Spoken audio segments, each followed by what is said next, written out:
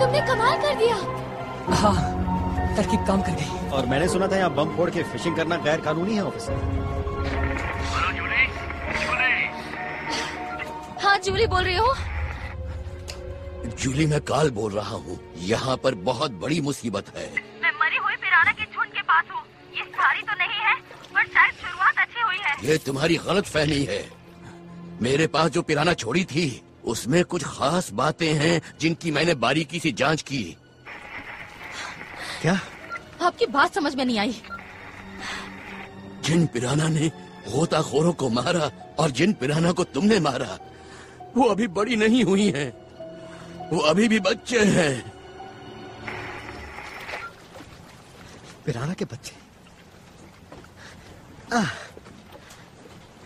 तो इनके माँ बाप